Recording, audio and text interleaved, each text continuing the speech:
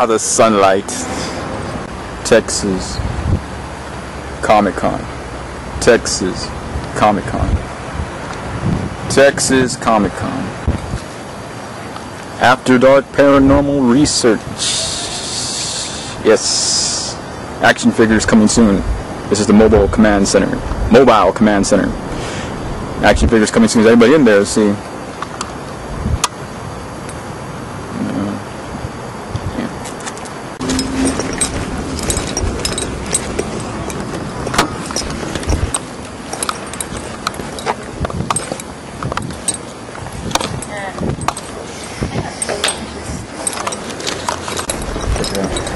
There's one.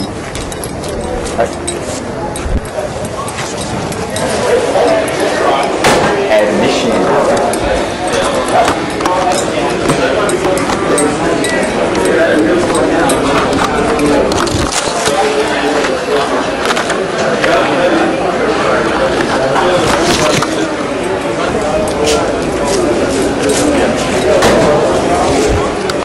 Where do you get your free soda?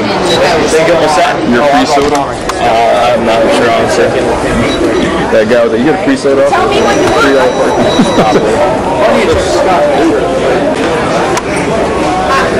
Yes, Dr. Texas Comic Con. Texas Comic Con. Texas Comic Con. Texas Comic Con. Texas Comic Texas Com Texas Comic Con. Bigger and better this year. A Whole lot bigger and better. A Whole lot bigger. Texas Comic Con. Alright folks, um, got rid my flyers and um, I'm relieved now, so I'm going to do a walkthrough here of Texas Comic Con. And then I'm going to do some shopping so I can find old comic books and toys and stuff like that. But right now, let's do a walkthrough of Texas Comic Con. Bigger and better this year. Let's see. Watch this out. Really neat drawings.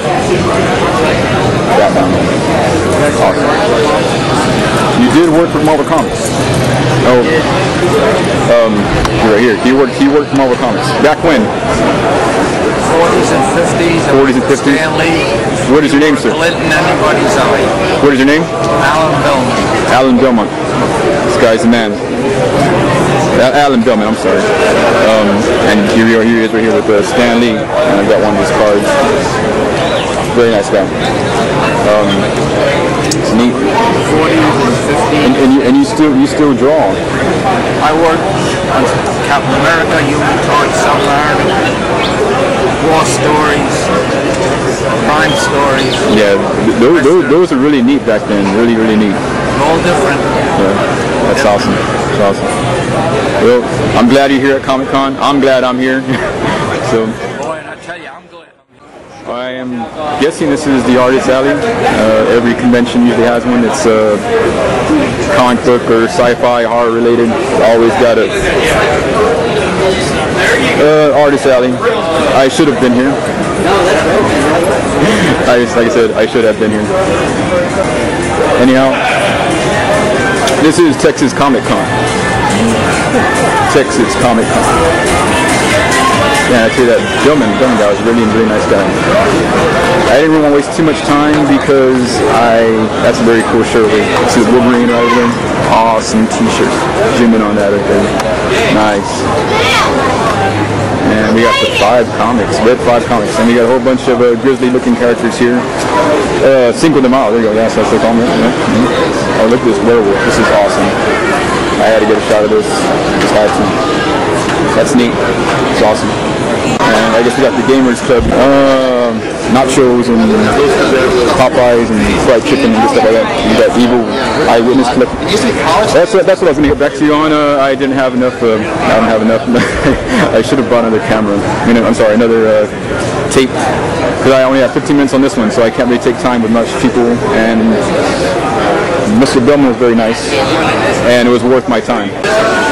Zombie George Lucas, like Star Wars fans that dream right here, and if you're a zombie fan as well. Awesome drawings. Jaime Carrillo illustration.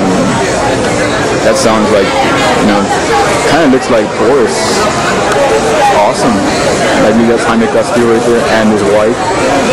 Who knows? But these are very, very nice drawings and James Northman. Look at them, they're awesome. Nice work. You see. Got a bunch of Star, Star Trek stuff. Never be able to find. You might find them here, but I don't want any more uh, Taskmaster action figures, uh, cards and stuff. And I've got 13 minutes. What can I wrap in 13 minutes? I can walk pretty fast, and I do walk fast. Look, this is awesome. He's got a. Rato reminds me of the old Franz, Frank Franzetta, I believe. It's Franzetta. There you go. This this is awesome. This is this is him right here. This is uh, Rato. And, How you doing? Everybody knows Mario. It's him right over there. Mario. Let's check this out.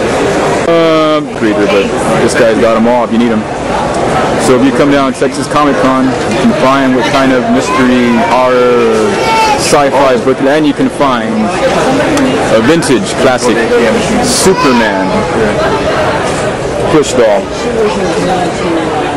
waiting for you at Texas Storm Overwatch. And where would you find? I think that prop was stolen from Santikos Theater, given or might have been donated to Texas Comic Con. So can you catch it? Looking right at you. Sentinel, the space base.